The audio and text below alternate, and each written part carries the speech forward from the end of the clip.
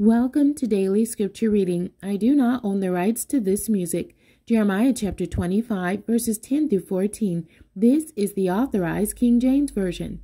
Moreover, I will take from them the voice of mirth, and the voice of gladness, the voice of the bridegroom, and the voice of the bride, the sound of the millstones, and the light of the candle.